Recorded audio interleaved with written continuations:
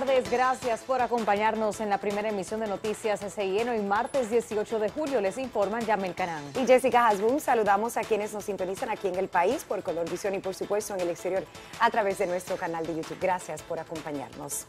Al considerar que la crisis de violencia y sociopolítica que vive Haití debe de ser vista no solo como una urgencia regional, sino mundial, el presidente Luis Abinader pidió este martes en Bruselas, en la cumbre de América Latina y la Unión Europea, actuar para llevar alivio a la vecina nación. El mandatario también convocó a los mandatarios de ambas regiones a trabajar unidos para combatir la pobreza y desigualdad de América Latina. Jaycee Capellán nos cuenta más. Al resaltar el esfuerzo que hacen las autoridades haitianas que participan en la cumbre que se lleva a cabo en Bruselas, Bélgica, el mandatario dominicano aprovechó nuevamente el escenario internacional para externar su preocupación por la crisis del vecino país. Solo el 30% de los estudiantes de Haití están yendo a las escuelas. La mayoría de los hospitales públicos están cerrados. Y es una tragedia en términos de la violencia. Durante su alocución en la referida cumbre, Abinader también reclamó a la Unión Europea y a los miembros de la comunidad latinoamericana que aborden juntos los desafíos de la pobreza persistente y la desigualdad, así como el empoderamiento económico y político de las mujeres. Se debe prestar una especial atención a la participación y contribución de las mujeres al desarrollo económico, así como a la participación de los colectivos más desfavorecidos Nadie puede quedar al margen del futuro. Al señalar que dicho encuentro brinda la oportunidad de abordar los temas de finanzas para el desarrollo, reestructuración de la deuda y previsión de liquidez, el mandatario dijo también que se hace necesario fortalecer la colaboración con la Organización Mundial del Comercio para contribuir con su reforma. De igual forma, indicó que ambas regiones deben trabajar juntas por crecimiento sostenible e inclusive que promueva la igualdad y la cohesión social. La estrecha cooperación continúa entre nuestras regiones y va a contribuir aún más a lograr nuestros compromisos multilaterales compartidos, incluida la Agenda 2030, el Acuerdo de París sobre Cambio Climático y otros compromisos globales relevantes. El presidente Abinader recordó que las dos regiones están conectadas por una de las dos redes más importantes de acuerdos comerciales, de asociaciones bilaterales y regionales del mundo.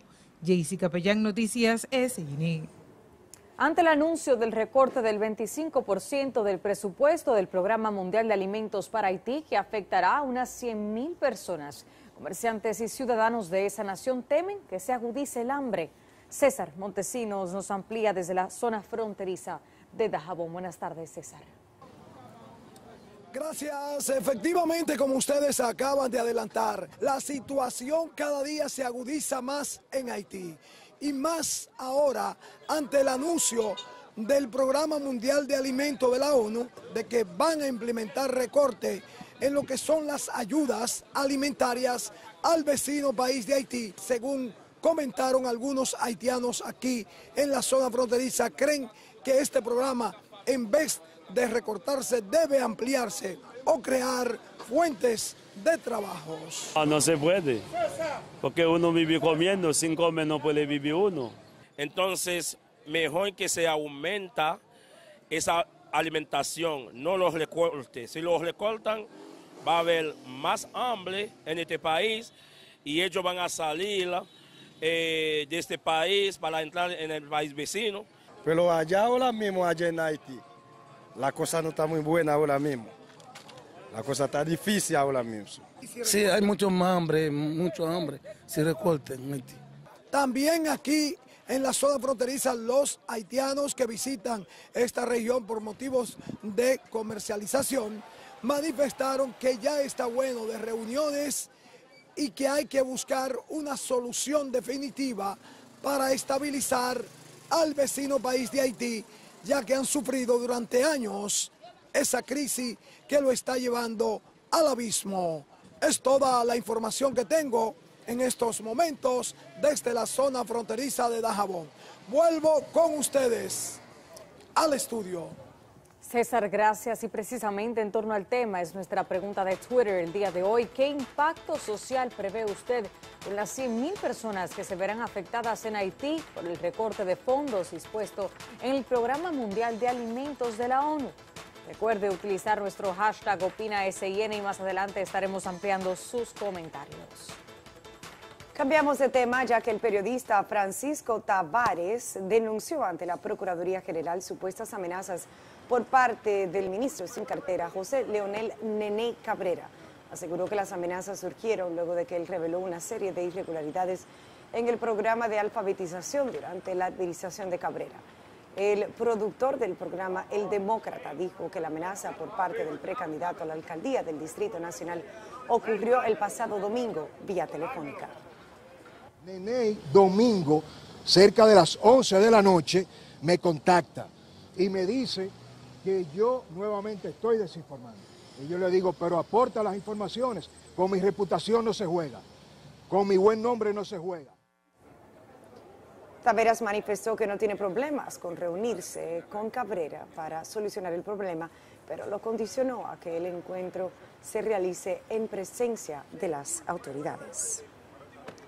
Los bloques de diputados de la Fuerza del Pueblo y el PLD advirtieron este martes que impondrán sanciones a los legisladores de sus bancadas que desobedezcan la línea partidaria que busca impedir la apertura de un juicio político contra los miembros de la Cámara de Cuentas. Nuestro compañero Vladimir Núñez está en directo desde la sede legislativa con los detalles.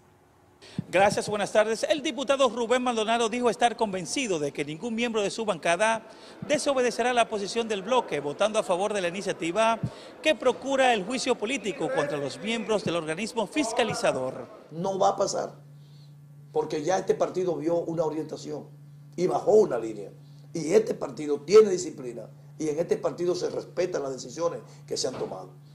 Similar posición tiene el vocero de la bancada de diputados peledeísta Juan Julio Campos, quien exhorta a sus compañeros a abstenerse de votar por el informe que desde la semana pasada figura en la agenda de la Cámara de Diputados. El que haga eso se va a abstener a las consecuencias que decida el comité político del Partido de la Liberación Dominicana mientras el vocero del bloque de diputados del PRM, Julito Furcal, acusó a la oposición de anarquizar el proceso para que se mantenga una Cámara de Cuentas inoperante. Mientras ellos no participen, no se va a discutir, porque nosotros no tenemos los votos para eso, de tal manera que ellos son los responsables y cargarán con la consecuencia de que no haya una Cámara de Cuentas. Los diputados oficialistas insisten en apelar a la sensatez de los legisladores de la oposición para que voten a favor del informe de la Comisión Especial que sugiere el juicio político contra los miembros de la Cámara de Cuentas, cuyo periodo vence en los primeros meses del 2025. Es la información que tenemos. Retorno contigo. Y ahora, la perspectiva de Alicia Ortega. Lo que ha ocurrido hasta ahora en el Congreso con el inconcluso revuelo sobre la Cámara de Cuentas y la suerte de sus miembros es lo más parecido a una novela pretendidamente de suspenso, pero que en su desarrollo se torna predecible. Aunque una comisión especial encontró faltas graves, algunas supuestamente hasta violatorias a la Constitución entre los miembros de ese órgano fiscalizador, tanto de carácter individual como colectivas, todo parece indicar que no habrá tal proceso. Ni siquiera hay seguridad de que se obtengan los 127 votos que se requieren para que el informe que sugiere el juicio político pueda ser aprobado en la Cámara de Diputados y si se lograra, entonces habría que esperar la actitud que asuma el Senado. Lo que sí es ya un hecho irreversible es que sin importar en qué termine este drama incierto en el Congreso, las filtraciones, los datos alegados y también contrarréplicas que han salido a relucir han cubierto con un manto de cuestionamientos a los actuales integrantes del órgano fiscalizador. Es una lástima que sea este el balance a la vista porque la Cámara de Cuentas está llamada a cumplir una alta misión para fiscalizar y garantizar el buen uso de los fondos del erario que se nutren con los impuestos que pagamos todos los ciudadanos. También es una penosa decepción en la lucha por fortalecer con mecanismos idóneos la operatividad institucional en todos los niveles de la estructura del Estado, sobre todo en los organismos que deben dar a tiempo la alerta cuando algo no anda bien en algún área de la administración pública.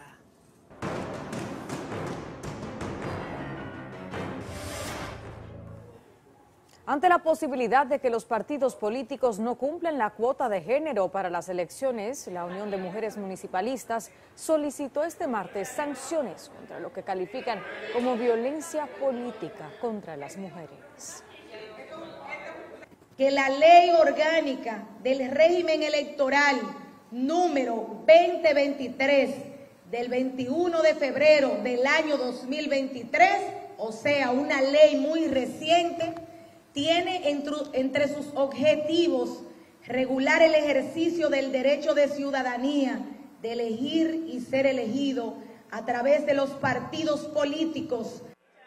El gremio también llamó a la población a rechazar y denunciar la violencia política contra las mujeres. Al asegurar que algunos funcionarios públicos hacen uso del erario público en la pre-campaña electoral, la Fuerza del Pueblo pidió a la Junta Central dictar un reglamento que regule la participación de los precandidatos que ostenten algún cargo en el gobierno. Necesitamos una instancia a los fines de que la Junta intervenga con el uso de los recursos del Estado, tanto en la que se están utilizando tanto en la compra de alcaldes, diputados y políticos de la oposición con fondos del Estado, así como también la eh, agresiva y y abusiva, el abusivo derroche de la propaganda que se ve en todos los rincones de la geografía nacional de los candidatos o precandidatos del gobierno, del partido de gobierno.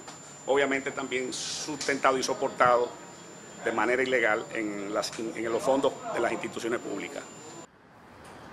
Los representantes de la Fuerza del Pueblo ante la Junta recordaron que esa institución tiene la facultad de tomar las medidas que garanticen que los comicios internos se desarrollen de manera justa y correcta.